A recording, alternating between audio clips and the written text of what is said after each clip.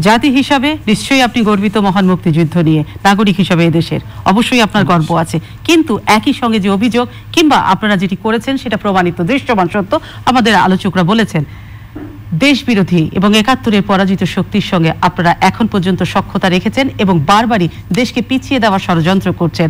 যদি মুক্তিযুদ্ধকে আপনারা স্বীকার করে থাকেন এবং মহান বিজয় দিবস যদি দল, মত, নির্বিশেষে সকলের মহান বিজয় দিবস হয়ে থাকে। তাহলে কেন এই দেশ বিরোধী একাত্তরের পরাজিত শক্তির সঙ্গেই এই সক্ষতা দেশ পিছিয়ে দেওয়ার এই ষড়যন্ত্র?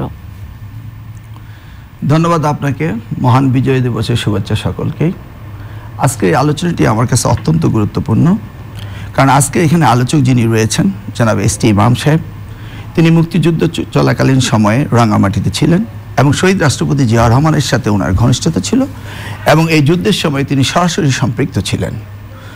উনার বাংলাদেশ সরকার একাত্তরে তিনি এটাও লিখেছেন যে স্বাধীনতা ঘোষণার জন্য শহীদ রাষ্ট্রপতি জিয়া রহমানের সাথে এই এম আর সিদ্দিকী সাহেব, হান্নান সাহেব, তারা একত্রে গিয়েছিলেন কালুঘাট বেতার কেন্দ্রে। ওনার বইতে এটা লেখা রয়েছে, বত্রিশ নম্বর পাতায় এবং তিপ্পান্ন নম্বর পাতায়।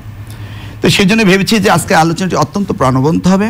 স্বাধীন সার্বভৌম বাংলাদেশ তার সংবিধান সমুন্নত রেখে এদেশকে মূল্যবোধ দিয়ে যেন আগামী দিনগুলো চলতে পারে সেই আলোচনাটাই আমি ভেবেছি। আমি এখানে কোনো কুতর্কে যাওয়ার কোনো প্রোগ্রাম আমার ছিল না। আমরা ইতিহাস নিয়ে কথা বলব। হ্যাঁ, ইতিহাস কীভাবে ভুল পথে গিয়েছে রাজনীতির সেটা যে নিয়েও আমরা জানতে চাইব। আপনি যে জায়গায় শুরু করেছেন যে বাংলাদেশের স্বাধীনতা স্বীকার করা শহীদ রাষ্ট্রপতি জিয়া রহমান সম্পর্কে কথা বলছেন আর কবি সাহেব যেটা বললেন যে রাজাকার আলবদরদেরকে আমরা পতাকা দিয়েছি। জাতীয় পতাকা তাদের নিশ্চয়ই জানেন উনিশশো ছিয়ানব্বই সালে জামালপুরের রাজাকার নুর ইসলাম সাহেবকে প্রথম পতাকা দেওয়া হয়েছিল আওয়ামী লীগের সরকার উনিশশো ছিয়ানব্বই সালে। উনি নিশ্চয়ই এই কথাটি ভুলে যাননি।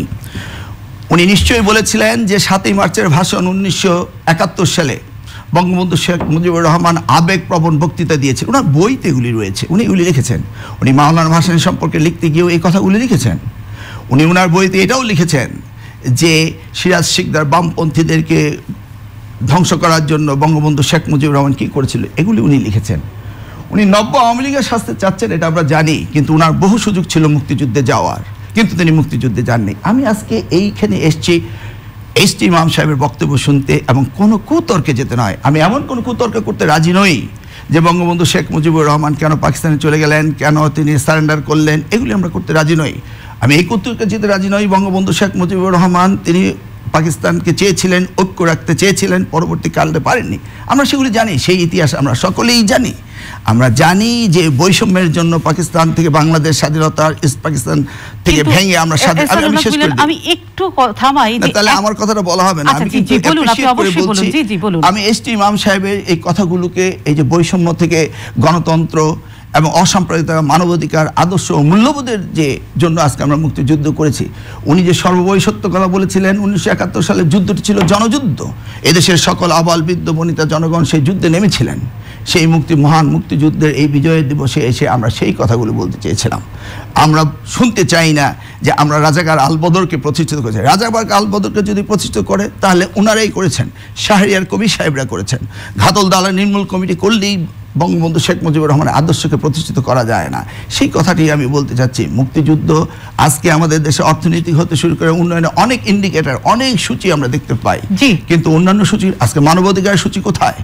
আজকে আমাদের দেশে যে অর্থ পাচার হচ্ছে তার কোথায়? আপনি আমাদের সম্মানিত দুজন আলোচকের বিষয়ে দুটো বিষয় প্রসঙ্গ তুলেছেন। নিশ্চয়ই আমাকে সম্মানিত দুজন আরও আলোচকের আমি লিখেছি আরও বহু মুন্তাসির মামুন লিখেছেন বহু লেখক যারা শাহরিয়ার কবির আমাকে আমি একটু থামাচ্ছি আপনাকে আমাকে যেতে হবে হোসানুল হক মিলনের কাছে। হোসানুল হক মিলন আমি আপনার কাছে স্পষ্ট যে বিষয়টি জানতে চাই মহান মুক্তিযুদ্ধের সুবিধায় আমরা জামাত বলি, বিএনপি বলি, সকলেই, কারণ একটা স্বাধীন দেশ সকলেই পেয়েছে, আপনারা যতই বিরোধী মতে থাকেন না কেন।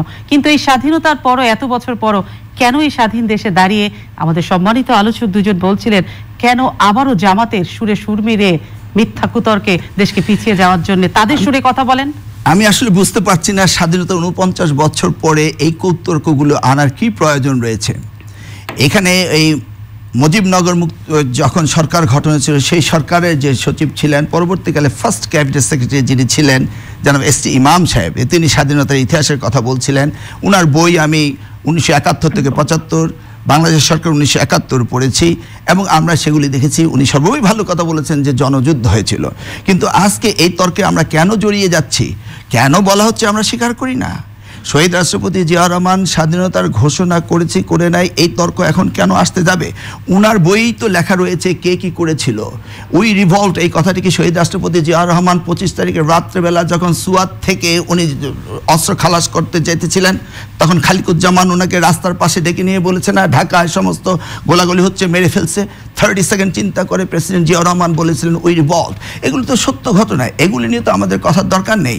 কুতর্ক আমরা করতে যাব, কোন কারণে কোন প্রেক্ষাপটে বঙ্গবন্ধু শেখ মুজিবুর রহমান কোথায় থেকে কোথায় অবস্থানে গিয়েছিলেন সেগুলি আমরা বুঝতে পারি। হ্যাঁ অবশ্যই বঙ্গবন্ধু শেখ মুজিবুর রহমান পাকিস্তানকে চাইবেন তারপরে যখন হবে না তখন বাংলাদেশকে চাইবেন আপনি অবশ্যই সুযোগ পাবেন। আপনি কথা এপ্রিল উনিশশো একাত্তর সালে মুজিবনগরে যে সরকার প্রতিনিধিগণ যে সিদ্ধান্ত নিয়েছিলেন সেদিন যে তারা স্বাধীনতার ঘোষণাপত্রে উল্লেখ করেছিলেন সেখানে লেখা আছে সুস্পষ্টভাবে বাংলাদেশের জনগণের জন্য সাম্য মানবিক মর্যাদা ও সামাজিক সুবিধা নি- নিশ্চিতকরণার্থে সার্বভৌম গণপ্রজাতন্ত্র রূপে বাংলাদেশের প্রতিষ্ঠার ঘোষণা করলাম। আজকের এই প্রেক্ষাপটে উনপঞ্চাশ বছরে এসে আমরা বলব বাংলাদেশের জনগণের জন্য সাম্য এসছে কিনা মানবিক মর্যাদা মানবিক মূল্যবোধ আদর্শ মূল্যবোধ এটা আমরা পেয়েছি কিনা আমরা সুবিচার পেয়েছি কিনা স্বাধীনতার সুফল আমরা কতটুকু পেয়েছি সেই বিষয়গুলি নিয়ে আমরা আলোচনা করব। আমরা আজকে যে বিজ্ঞ আলোচক যে পেয়েছি জনাব এস্টিমাম যারা আজকে স্বাধীনতার ফাউন্ডার প্যারেন্টস হিসেবে কাজ করেছিলেন এই দেশের জন্য তারা হয়তো আগামী দিনে থাকবেন না। তারা আমাদের জন্য কি রেখে গিয়েছে? আমরা কি করতে পারব? আজকে নতুন প্রজন্মেরকে আমরা কি দিতে পারছি? কি আমরা চাইব? সেই বিষয়ে আলোচনা হবে। আমি এই সমস্ত কুতর্ক যেতে চাই না। যদিও সারিয়ার নতুন প্রজন্মকে যা দিতে চান সেই বিষয়ে আসলে এহসানুল হক মিলন কিন্তু আসে। হ্যাঁ জি জানিয়ে দাও উনিশশো চুয়াত্তর পঁচাত্তরে বাংলাদেশ বঙ্গবন্ধু শেখ মুজিবনের বিরুদ্ধে বামদের পক্ষে উনি কি মন্তব্য করেছিলেন? সেই প্রশ্নগুলির উত্তর কি তিনি দিতে পারবেন? মাওলানা ভাসানির রাজনীতি ও জীবন সংগ্রাম সেখানে উনি বঙ্গবন্ধু শেখ মুজিবুর রহমান সম্পর্কে কি। উক্তিগুলি করেছিলেন? বামপন্থীদের জন্য কি করেছিলেন? সেগুলি আজকে হঠাৎ করে তিনি ভুলে গিয়ে হ্যাঁ আমিও তো উনিশশো একাত্তর সালে ভারতে মুক্তিযুদ্ধ করতে যাইনি কিন্তু ইন্টারনালি আমরা মুক্তিযুদ্ধ করেছি। সেই ইতিহাস আমাদেরও রয়েছে। হয়তো বা হতে পারে আমার বয়স চোদ্দ পনেরো বছর ছিল। আমরা দেখেছি কিছুটা হলেও দেখেছি। আজকের প্রেক্ষাপটে এই মুক্তিযুদ্ধ এবং এই স্বাধীনতা স্বাধীনতার সুফল এটা নিয়ে আজকের আলোচনা আমরা ভবিষ্যৎ প্রজন্মের জন্য রেখে দেব। আমরা এই স্বাধীনতার সুফলের কথা বলতে গেলে এহসানুল হক মিলন মিলন ইতিহাস আমি বলছি জি জি। আমি বলছি মিলন সাহেব ব্যক্তিগত আক্রমণ করছেন। তিনি কেন স্বাধীনতা ঘোষণাপত্র থেকে ওই জায়গাটি পাঠ করছেন না? বঙ্গবন্ধু স্বাধীনতার ঘোষণা দিয়েছেন। এটা স্বাধীনতার ঘোষণা আমার বঙ্গবন্ধু সম্পর্কে যদি না মানেন তর্কই নেই কোনো বিতর্কই নেই। ইতিহাসের ফাঁক রেখে আপনি ইতিহাস বলছেন। স্বাধীনতা হক মিলন সময় জানে শরিয়ার কবি সাহেব জি জি। বলতে চাচ্ছেন যে বিতর্কিত রাষ্ট্রপতি জিয়া রহমানের বিরুদ্ধাচরণ করছেন তিনি আলবদর স্বাধীনতার ঘোষণা করেছেন, এটা না মানেন- উনিশশো ছিয়ানব্বই সালে আমি সংসদ সদস্য ছিলাম নুর ইসলাম সাহেব রাজাকারকে সেই পতাকা দেওয়া হয়েছিল। কিন্তু ইতিহাসের ফাঁক রেখে ইতিহাসের বয়ান দিচ্ছেন এহসানুল হক যেটা জনাব শাহরিয়ার কবির সেই সমস্ত তর্ক ওয়ান টু ওয়ান ডিবেট হতে পারে। এখানেও তো আছেন অবশ্যই আজকে আমি- অপর পক্ষ আছে অপর পৃষ্ঠে কিন্তু আছে ব্যক্তি এস টি মামের সুন্দর বক্তব্য শোনার জন্য অধীর আগ্রহে আমি এখানে এসেছিলাম। কুতর্কের জন্য নয়। কুতর্ক না আপনি ইতিহাস আপনি শুরু করেছেন তার জবাব এইচ ইমাম দিচ্ছেন দিয়েছেন এবং জনাব শাহরিয়ার কবির দিচ্ছেন। সবচেয়ে বড় কথা আপনারা যদি সাহেবের জবাবগুলো আমরা লিপিবদ্ধ রয়েছে বইয়ে পড়েছি আমার কাছে এগুলি বইয়ের ভিতরে রয়েছে। সবকিছু আমরা পড়াশোনা করছি। জি। আমরা দেখেছি আমরা পড়ছি কিন্তু আজকে আপনি বলুন বাংলাদেশের শিক্ষা ব্যবস্থা কোথায় যাচ্ছে? কীভাবে আজকে দেখুন আপনি নলেজ বেস অর্গানাইজেশনগুলো বাংলাদেশের ভবিষ্যৎ প্রজন্মের যে যে শিক্ষা ব্যবস্থা রেখে যাচ্ছে। আজকে আমি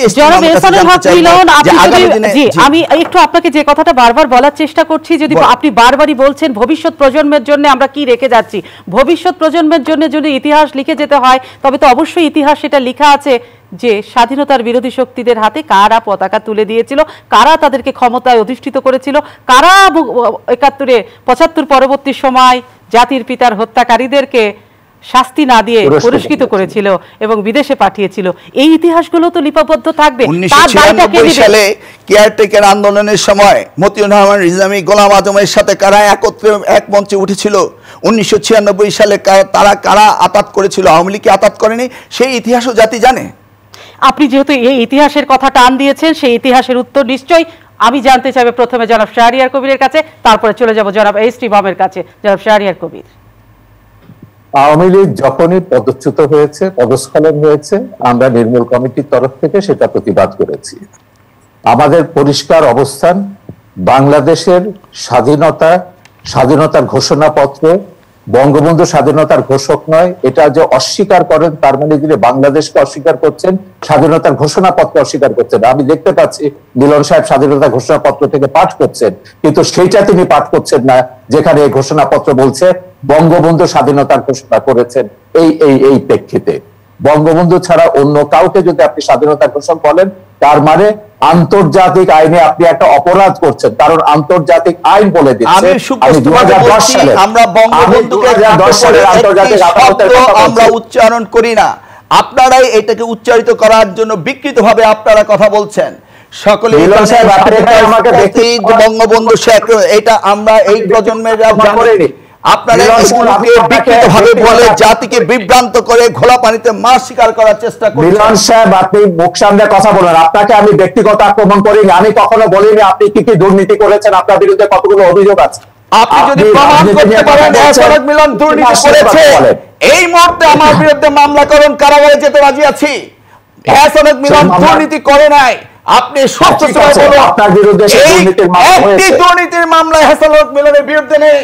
আমি কথা সেখানে যাচ্ছি না। আমি শুধু বলছি সাবধানে যে না জেনে কোনো কথা বলবেন না। না না আপনি আপনি না কথা বলছেন। আপনি না। না কথা বলছেন। আমি এখানে আপনি না কথা বলছেন। শোনার জন্য এসেছি। আপনি কোথায় দেখেছেন? আমি দুর্নীতি কোথায় দেখেছেন? আমাকে ভ্যারি ব্যাগ ছিনতাইয়ের মামলা করা হয়েছে? ধর্ষণ করার মামলা করা হয়েছে? মোবাইল চুরির মামলা করা হয়েছে। আপনি বলছেন কোথায় দেখেছেন আপনি দুর্নীতির মামলা করেছে? আপনি স্বাধীনতার কাহিনী আমরা শুনতে এসেছি বিজয় দিবসে আমরা আগামী দিনে কি করব কীভাবে উত্তরণ হবে কীভাবে শিক্ষা ব্যবস্থা পরিবর্তন হবে কীভাবে বাংলাদেশ বিশ্বের মানচিত্রে আরও সমুন্নত হবে। সেই বিষয়ে আমরা আলোচনা করতে যাচ্ছি। কুতর্কে যাবেন না। সেই বিষয় নিয়ে আলোচনা করতে গেলে তো অবশ্যই একটাই কথা জানতে আপনি চাচ্ছি। আমার বিরুদ্ধে দুর্নীতি জমা স্যার আপনার ডিকশনারিতে কোত্থেকে ঠিক আছে, যেভাবে- যেভাবে আপনি বলেছেন, আমি আপনি যদি আপনি বলেছেন, আমি মুক্তিযুদ্ধে যাইনি। আপনি বলেছেন আমি মুক্তিযুদ্ধে যাইনি সেটার জবাব আমি দিচ্ছি যে মিথ্যা আপনি করেছেন। আপনাকে বলতে হবে আপনি বঙ্গবন্ধুকে স্বাধীনতার ঘোষক মানেন কিনা। যদি না মানেন আপনি স্বাধীনতার ঘোষণাপত্র অস্বীকার আবার আপনি বলছেন আমি স্বাধীনতার ঘোষণাপত্র অস্বীকার করার অর্থটা কি? কোনো কথা বলি না। না কিন্তু জোর করে কেন কথা জনাব এহসানুল হক মিলন শাহরিয়ার কবিরের একটা স্পষ্ট প্রশ্ন। বঙ্গবন্ধুকে স্বাধীনতার ঘোষক আপনি মানেন কিনা কিংবা আপনারা মানেন কি না একদম ইয়েস অর নো এটা ওনার স্পষ্ট জানতে চাওয়া। আমি বলছি স্বাধীনতা স্পষ্ট- স্থপতি বঙ্গবন্ধু বঙ্গবন্ধু না হলে বাংলাদেশ স্বাধীনতা হতো না। এর চেয়ে বড় কিছু উনি কি বলতে পারবেন? উনি আমাকে ঘোষণাটা কি? ঘোষণাটা পড়ুন আপনি ঘোষণাটা পড়ুন। বারবার যে বিষয়টি উত্থাপন করছেন? এহসানুল হক মিলন আমি একটু বিনয়ের সঙ্গে বলছি বারবার শাহরিয়ার কবির সাহেব যে প্রসঙ্গটি আপনার দৃষ্টি আকর্ষণের চেষ্টা করছেন কিংবা বলছেন যে স্বাধীনতার ঘোষণাপত্র আপনি ফাঁক রেখে বয়ান আমি যদি বলি স্বাধীনতা হতো না বাংলাদেশে বঙ্গবন্ধু শেখ মুজিবের জন্ম না হতে হলে? এটা নিয়ে তো কোনো। তর্ক নেই এটা আমার সাথে? তাহলে আপনি ঘোষক নিয়ে কথা বলছেন। ঘোষণাপত্র নিয়ে কথা বলুন। ঘোষক আমি বলেছি এসটি এস টি ইমাম সাহেবের বইতে লেখা রয়েছে বঙ্গবন্ধুর সপক্ষে স্বাধীনতার ঘোষণা পাঠ করার জন্য সেটা সুস্পষ্টভাবে ওনার বইয়ে লেখা